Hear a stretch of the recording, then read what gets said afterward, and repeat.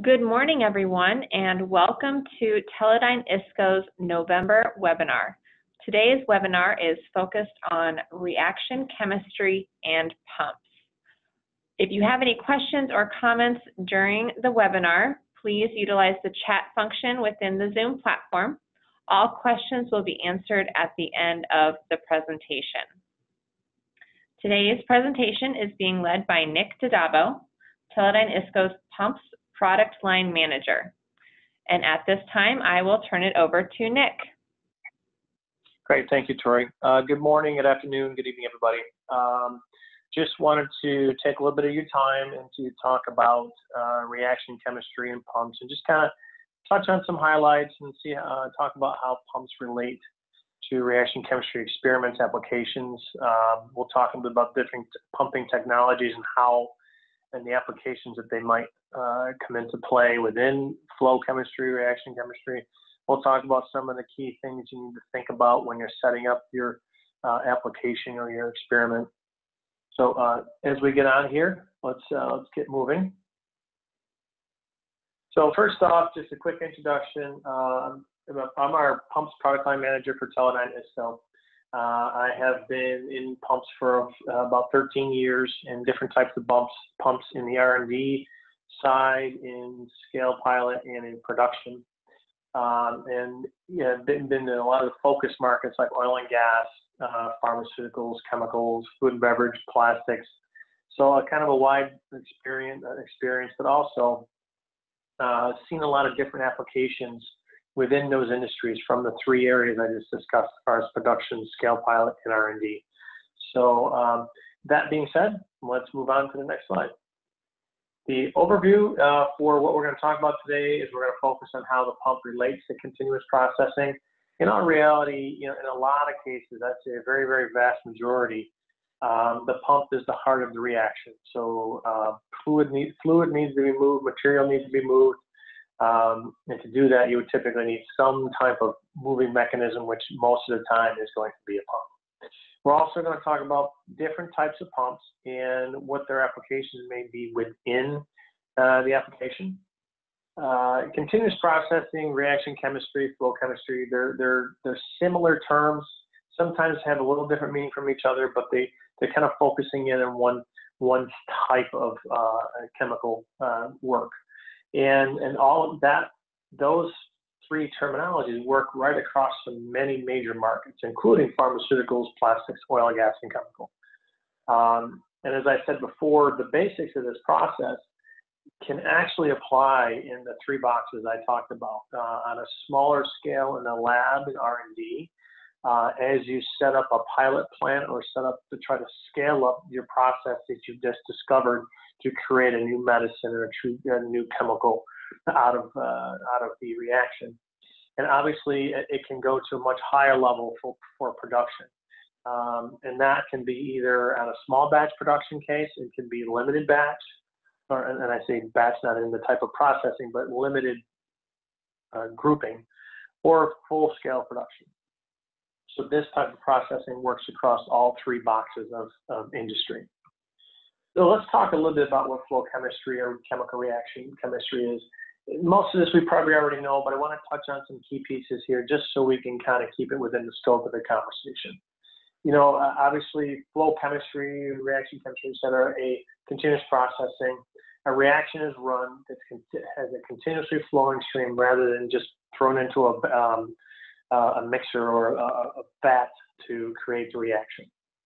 Uh, you know, things, pumps move fluid into a tube, into a reactor, and, and they contact each other and things happen. So it's a very, very generic uh, description, but it's the basis of our conversation. Uh, it's a well-established technique that's used at large scale for large quantities. It's used at small scale for small quantities. But really, um, you know, you'll have to have the pumps are the harder reaction, but you have to have a reaction vessel also. So there's some other key pieces that are important, uh, including microreactors, like it's stated here.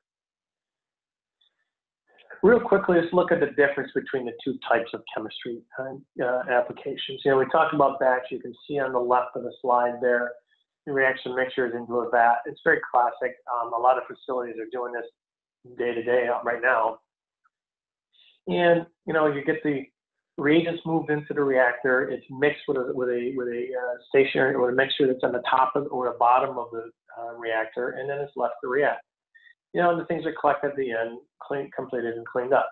Some key factors there: the mixing, reaction time, etc. But when you look at flow chemistry, you know, I say it's a new technique here. really isn't a new technique. It's been around for a long time, but it's a type of technique that's getting a lot more focus recently.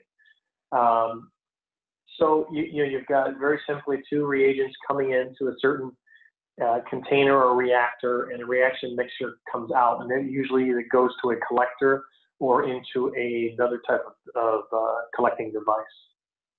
You know, the key factors there are the flow rates and the uh, the residence time, the temperature, and the mixing.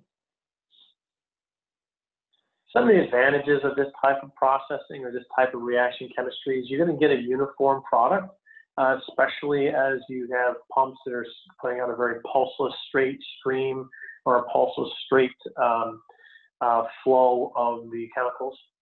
You get a longer run production, you can make larger volume, you can keep it going, or you can turn it off and just have the application stop. Um, less time to have to worry about cleaning up and shut down. Um, it's easier design, less contamination. Excuse me. Uh, some disadvantages, sometimes it can be an expensive initial setup. Uh, some, of the, some of the equipment would be expensive to purchase to, to, to create the, the manufacturing flow or the, the processing flow. But it's, uh, you know, it's set up and also sometimes a disadvantage considered uh, if it's set up for just one product um, which it could be advantage too because it eliminates contamination. And then when you're done, you just throw out the disposable pieces and you start over again. So that can be advantage and disadvantage. Here are a couple pictures I just literally just found on the internet, but I thought they were great descriptions of, of what we're talking about here.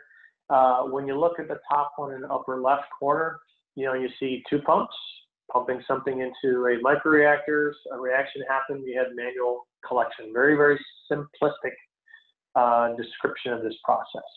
And you can see, you know, the pump is, as far as the basics here, is very important.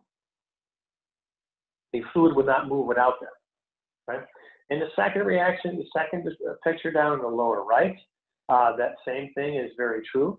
Uh, you can see two pumps inputting into a T connector, and there's a little flow reactor where the, the chemicals kind of react. And then you have uh, a collection of uh, silver nanoparticles at the end.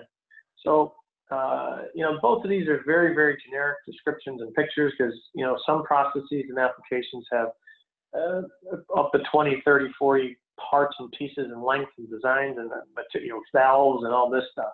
But on a very, very rudimentary description of how we're looking at this, these, these two pictures depict what we're talking about. Excuse me. So let's talk a little bit about pumps within reaction chemistry. Very, very basically, you know, we, we will say that the pumps are the most important part of a continuous processing system. Fluid has to move, material has to move. The way to do it is through a pump. You know, you, you really want to consider key pieces to what, what you're trying to accomplish. You know, the accurate flow rates, the ability to fluctuate your flow rate range, uh, maximum chemical compatibility. You do not want your materials or your chemicals reacting with anything within the pump or within even actually the whole process um, that would degrade the potential uh, mixture rate or cause contamination. Uh, low to minimal material pulsations. Now, this isn't always a concern, but uh, if you need, you know, in some cases when you describe, and we'll talk about this a little bit later, this the pulsation right here isn't always a concern. Sometimes you just want to get the fluid in there. If it goes in, and it has a blip when it goes in, that's fine. But other times you need to be very precise, steady stream, steady flow to get the right amount of dosage uh, of that material to mix with the other materials that you're trying to uh, you're bringing in to create that third one. Sometimes too much can cause and change the reaction or change the whole makeup or the structure of the experiment. You have to be very, very wise, wise and considerate of that. And there's pumps out there that, um, that can vary their pulsation rate. We'll talk about that later. The, uh, the footprint of the product that you have, I mean, obviously everybody's lab today has, uh, has limited space in most cases, especially under a fume hood, et cetera. So you really want to really look at that. That's not, you know, it's not key to having the chemical reaction occur, but it's key to setting up the process in the, in, in the, in the application. Okay. So let's address, let's talk about flow rate. You know, flow rate is a, is a very, very important part of the success of, of a chemical reaction. Okay, incorrect flow rate can give you really effective results to the application. You know, sometimes eh, when you're when you are looking at flow rates, you need to consider that you're going to have different viscosities, different fluid characteristics, uh, the different pressures you're working at, and, and very in, very in different flow rates you're going to require. So all of these have to be considered, and a lot of that can, the pump can affect, in a sense that if if the material is viscous, you're going to have to adjust the, the, the, the flow rate to accommodate that, so it'll come out at the rate you're looking for it to be. Um, it can, you know, incorrect mixture can definitely uh, affect the composition of the material you're working with.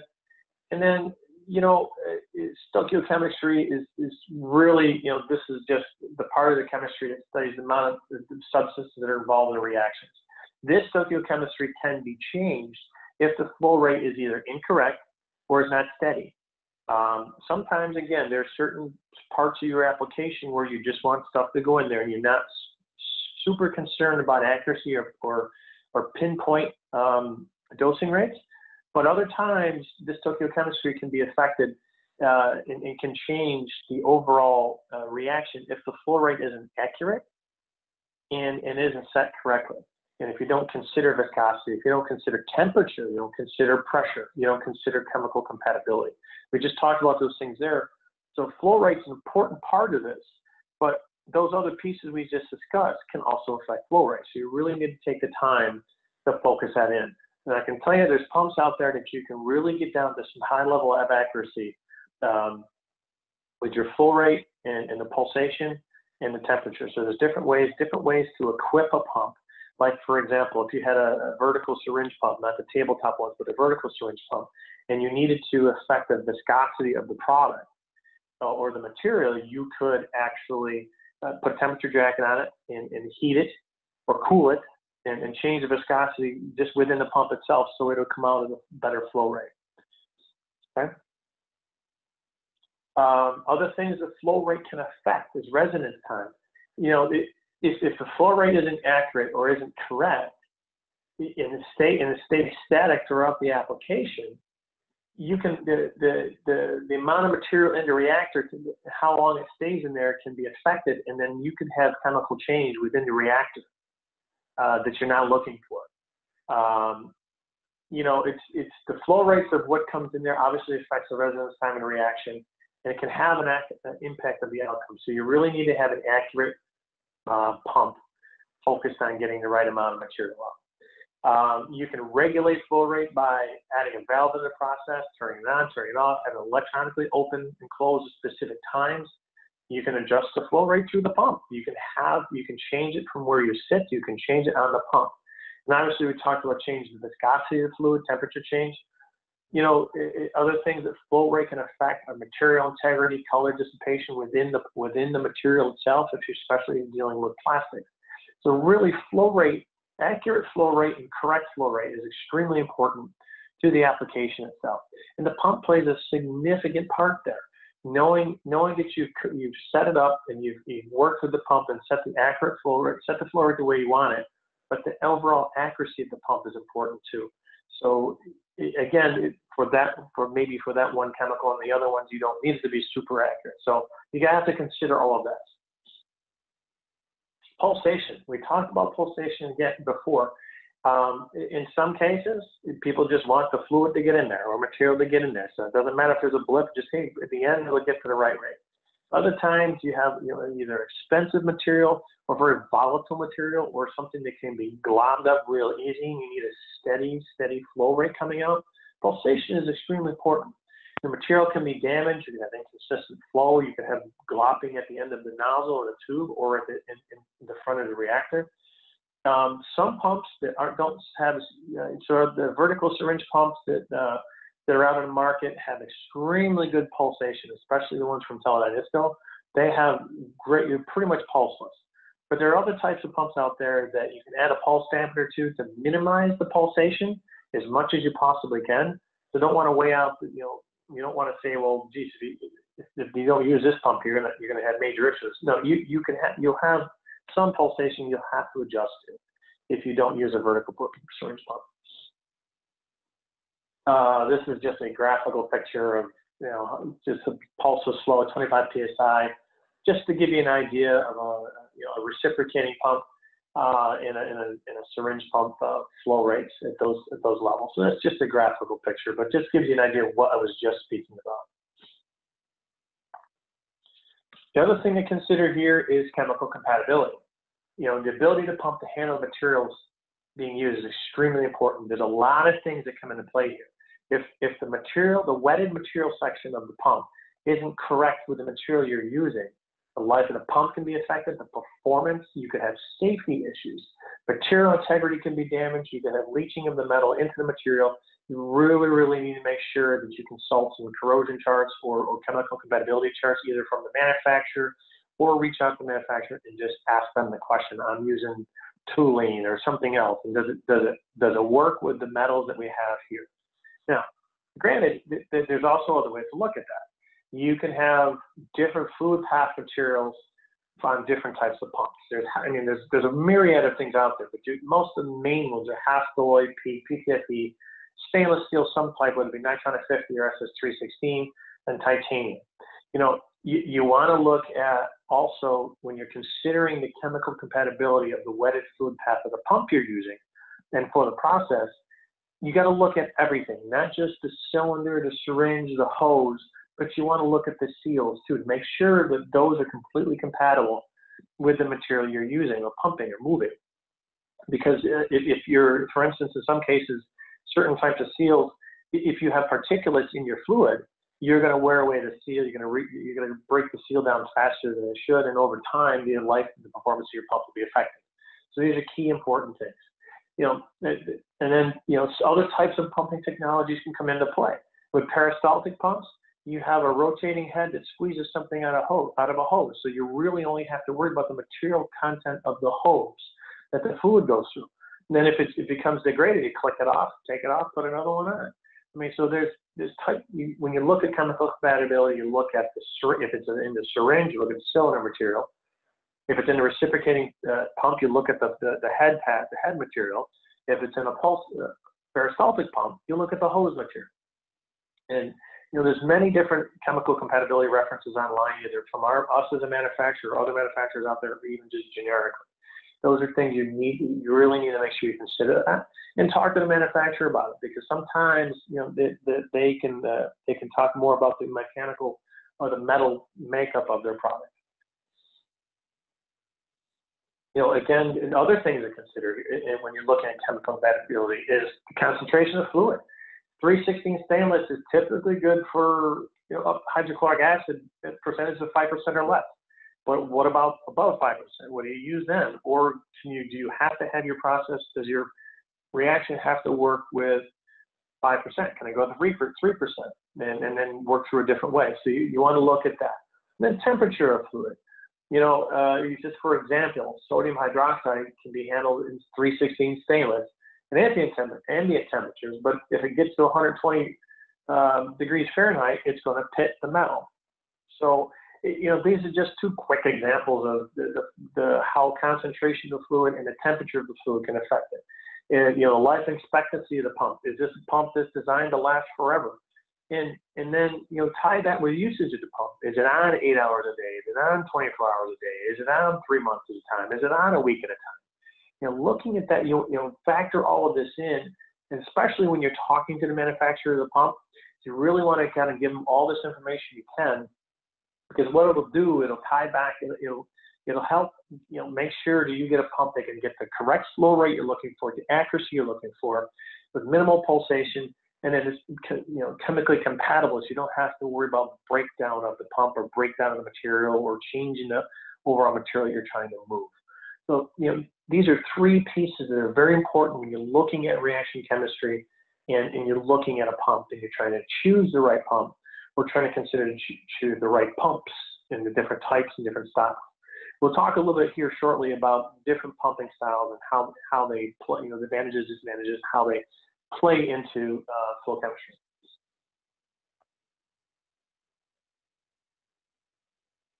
Okay. Other considerations I just kind of threw out here. We talked about footprint, the amount of space in your lab. You know, does your pump need to be mobile? So you wouldn't want a huge pump if it's going to have to be moved around unless you have a cart. You know, are you going to be using it once and then handing it off to somebody else? Or like universities, a lot of times will one lab will use it, then they'll okay, they've done with it, and okay, let's move it over here and do this. Actually, I've seen chemical facilities do it too. Is the pump scalable? This is the other thing you want to consider when you're talking about reaction chemistry, you design the application, you design the experiment at, at the R&D level. So can we replicate this using this the same pump we have? Or do we have to have a different type of pump or a different style of pumping technology or multiples of those pumps? You want to look at that because you want to uh, consider the, you know, what made that reaction successful in, you know, accuracy flow rate, et cetera. And then can we make sure we do that when we're scaling and, pilot, and moving up the pilot? And then even more so when we get to production.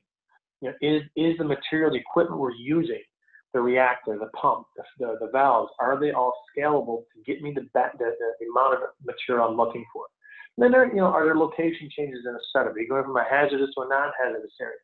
You want to consider all that, especially when you're dealing with certain types of materials, right? you know, do I need continuous flow? In a lot of cases, you do, especially when we're talking about this application. It can be just a straight single head that's just flowing stuff in, straight in. You know, what other equipment do you need? You know, is it going to make things more expensive? You know, how will pumps or how will they be controlled? Is there an interoperability um, capability here as far as a platform that runs everything, all of the products at once, or the different pumps at once? Um, and then what data do you need to collect? You need to get GMP data? You need FDA data? You need all of that? These are other little considerations that are not tied to the actual reaction and setting it up itself, excuse me, the reaction happening itself and how the pump actually works in that reaction. But these are considerations that help you think about when you're choosing the right pump to, to, for your application. You need to look at all of these pieces. You need to look at the reaction you're trying to create, is it chemically compatible? Is the flow rate going to get there or what? But also these other considerations. So you get the right product. Then you're not trying to fit the reaction to the pump. The pump's going to fit your reaction. So let's quickly look at our pumping technology here. So uh, we'll talk about syringe pump technology. As you know, Teledyne ISCO sells syringe pumps. You know, it, it's a product that's uh, the design is very long lasting. There's pumps out there that last over 20, 25, 30 years. It is as pulseless as you're going to get when it comes to a pump. Very precise flows down to 0.5%. Um, you can get up to higher pressures with this type of a design. This design, some, uh, one of our pumps goes to 30,000 psi. If you need that, it's there. This type of technology is out there for it. You know, some disadvantages is you're going to have a pretty, you might have a, a high investment up front, but over the life of the product, it's going to actually balance itself out from an ROI standpoint significantly. You may spend you may spend 50% more than another type of pumping technology, but this pumping technology is durable, it's going to last, it's going to be very accurate and pulseless. And in some cases, they have larger footprints than other pumps. You know, some have even larger within the syringe pump world. Sample applications you would see in flow chemistry with a syringe pump is creating extremely small fluid streams in a microfluidic application. When you need a very, very minute dose, you know, down to a 0.00001 milliliters per minute, you can do that with this with syringe pump, it's a vertical syringe pump technology. And then it's you know even under uh, even with viscous substances under high pressure you can use this this type of pumping technology. You you know you, you just make sure it's you, it's it's viscous, it can handle it, and you've set the flow rate to be what you expect it to be. When I'm talking about syringe pump technology here, I am not talking about the small tabletop ones like the Harvards out there you just see. This is more of the Teledyne ISCO style uh, vertical syringe pump. Oops. The second type of uh, pump is more of a reciprocating technology, or piston pump, or HPLC, or uh, typically you'll see them as HPLC pumps. You know, you can get high pressure, low flow, very common design, like a steam engine. You can see the little rotating thing, very, very easy to understand. You know, it's, um, some disadvantages is struggles with viscous fluid. So if you have a very viscous fluid, you probably need to eliminate this thinking here. Unless you're going to heat it up prior to sending into the pump, then it makes it less viscous and it gets it through there. Um, there are check valves in this type of technology. Check valves do get gummed up sometimes, so you have to consider that when you're looking at the material and the, and the, and the chemicals you're dealing with. And it's not pulseless. So this is one of the style, one of the, applica- the styles of pumping I was talking about that you can add a pulse dampener to that will eliminate or at least shrink down the amount of pulsation that is actually occurring um, as you're uh, pumping out. Is going to be as, as, pulseless as a syringe pump? No, that's not, not, not going to be the case. But it is a net good close second for you uh, if you need to choose that. You know, sample applications, you're going to be feeding reagents into the application. And in, in this type of pump, especially the ones from Teledyne ISCO, the Reaxus series, it can provide pressure. It just if it just needs to provide constant pressure, it has you, you can do that. So sometimes you have applications where I just need to have a steady, steady pressure coming in to help the reaction or help some other things occur. This is a good pump for that. The next type of pump I was just talking about is a peristaltic pump. You know, this is a pumping technology that's rather interesting. You know, it's, it's there's no wetted parts. The fluid stays in the hose unless you have a rupture, then that's a, that's an issue, et cetera. Very low contamination risk. You know, if you're using volatile materials and you have the right hose hose material there, you can literally just take the head off the pump, throw away, and put a new head on. You know, you have sanitary hose availability that's designed for food creation or, or, or inhuman, in-body type uh, materials. Easy, easy maintenance, low downtime. Disadvantages is you got to monitor your hose life. Um, you have to consider the hose wear with how long the pump's going to be on, the type of material that you're running through there, the chemical compatibility of the chemical to the hose, and just the, the, the temperature. It is not pulseless. You will always see blips here, but if you just need to feed something in, it works great. Um, sometimes as you age, uh, I don't know the time window of the aging, but as this type of technology ages, you have to calibrate it. So this is one that'll take a little more focus to watch it, make sure it keeps the accurate flow rates that you're looking for. But it's a nice complement if you need, you could use all three of these different types of pumps to create your application or create your chemical reaction to happen. If you need precise, precise dosing from the one, from the syringe pump, you just need a steady flow uh, with, with a little bit with a little bit of pulsation from the reciprocating pump, and then use this just to push stuff in. You know, sample applications here, feeding viscous, highly viscous material. This is really good for viscous material because the rollers will squeeze the material out. So if you have something that's viscous, this is one you want to look at. And lastly, diaphragm pump technology. This is kind of a this is kind of a, a, pumping technology you don't see too often in the chemical reaction world, but maybe you do from the you see LEWAs or or something like that that people use.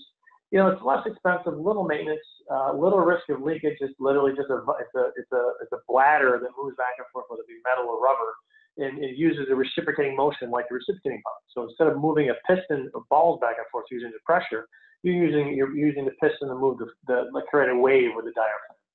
You know, it struggles with particulates. It definitely struggles with particulates. Um, it, it, some particulates and material can actually wear away the diaphragm. Um, you have check valves that get valved up and can, needs to be primed. That could be a tricky thing to do. Again, the application I see here is just feeding material the application. I don't see this very often in, in, the, in the chemical reaction world. I see more syringe reciprocating in peristaltic than I see this. So folks, just real quickly, just a little chart here to show you, you know, the different pumping types, advantages. We talk about pulseless flow, no wetted parts advantages, disadvantages, and it's a relatively, you know, like they do with the higher end restaurants, expensive, not expensive, et cetera. But you got to look at when you, if you're looking at the cost of the product, how long will it last? How long are you going to use it? And is it going to, you know, if you need something to be extremely precise and it has to be, or it's going to mess up the reaction and mess up the material you have, you're probably going to want to put some money in it to get the guarantee that the product will do it. And, and that's what you look at here uh, across the board. Okay? With that, I'm going to kind of open it up to questions. Um, I have myself online, and I have a, a, technical specialist, I believe, online in Nebraska that can, um, can answer some questions for us too.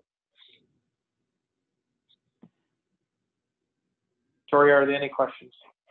Um, you know, I haven't seen any questions come through yet. So if you do have a question, feel free to use either the chat or the Q&A function in the platform.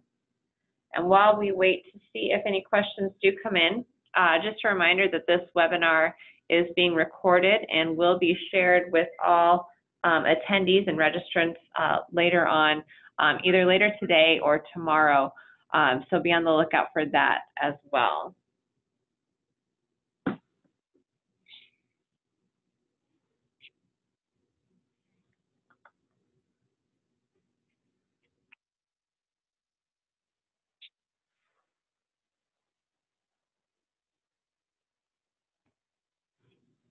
We'll give it just a, oh, here, I think we have a question that has come in. Or no, that's just a, uh, that was just a thank you for your presentation. So again, thank you for using the chat function. Um, we're open and we'll give it a few more minutes for questions or comments. Uh, so feel free to share.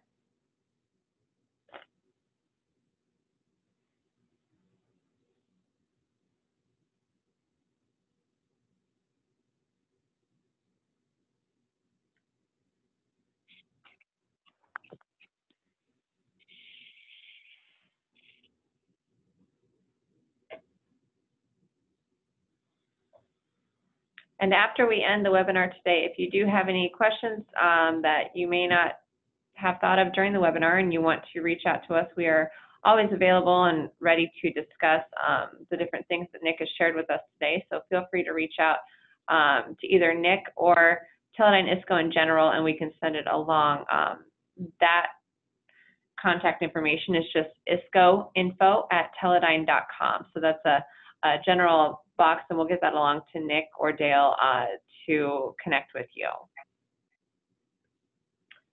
Uh, Nick, we do have one question that came in. Okay. Can we see in the future ATEX versions? Uh, I would def, I would say from the standpoint of uh, overall pumps, um ATEX is an important uh, uh, certification to have. Getting on certain types of pumps in certain cases will be tougher than others uh, from the standpoint of you know, arcing, sparking, et cetera, meeting the, the just the, the real rigorous certifications that ATEX uh, requires you to. I would say from the ISCO standpoint, that is something we're definitely considering. That and IEC 2X, I think it is. Uh, we, we, we are definitely looking at that from the standpoint of uh, overall pump offering. Um, I cannot give you a timeline at this point um, because certification for that is pretty difficult, uh, and I have gone through it in a few other cases in my, in my previous lives.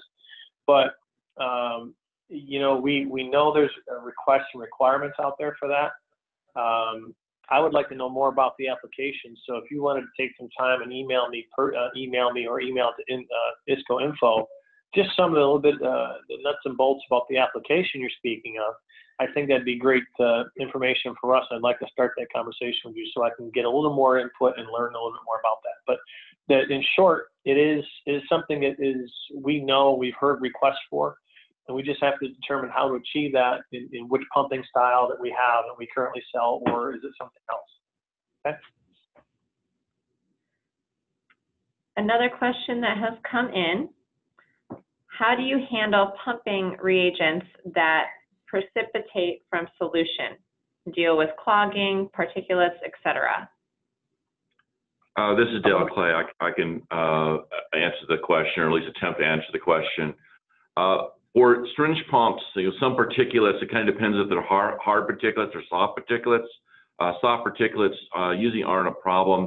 The concern is that they precipitate inside the pump, will it cause, uh, say, additional seal wear uh, or, or, or, other other problems? But if they're soft particulates, that generally isn't a problem, other than they could possibly settle out within the pump.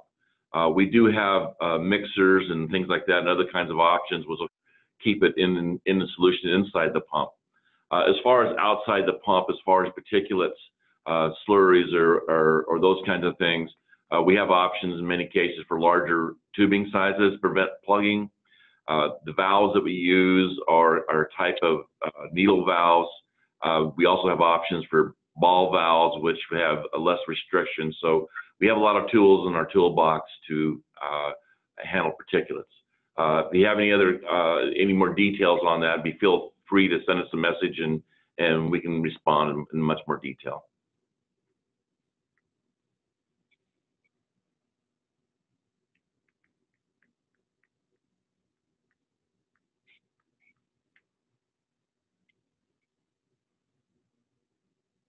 Okay, great. Well, thank you everyone for your time today to um, walk through this webinar. We appreciate it. Again, this will be sent out to all uh, participants um, later on this week for your reference.